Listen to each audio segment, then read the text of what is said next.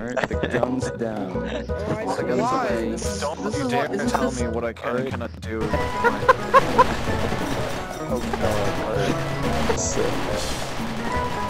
Um, I know that guns aren't allowed, but are flashlights okay? Is this how the game is Why do played? you have to Yes, sure, sure, a flashlight is okay. Guys, we, we must, we, we must, we must play have the to game. have alright? something. Genau, take up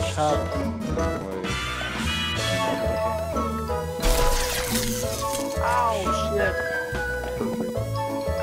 Do I have to go into edit mode to play this? Yeah. Yeah, we.